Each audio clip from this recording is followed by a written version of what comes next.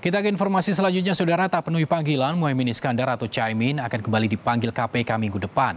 KPK menjamin tidak ada unsur politik dalam pemanggilan Ketua Umum Partai Kebangkitan Bangsa ini.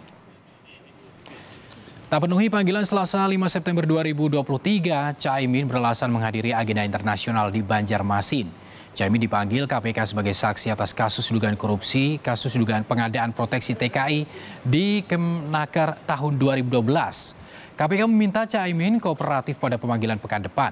KPK juga memastikan pemeriksaan Caimin ini tidak ada unsur politik karena surat pemanggilan diserahkan sebelum Caimin dideklarasikan sebagai bacawa pres mendampingi bacawa pres Anies Baswedan.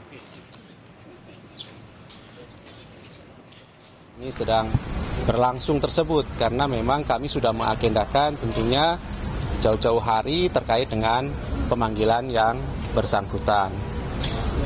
Informasi yang kami peroleh dari tim penyidik KPK tadi menyampaikan bahwa uh, telah menerima surat konfirmasi gitu ya dari saksi ini uh, tidak bisa hadir karena ada agenda lain di tempat lain tentunya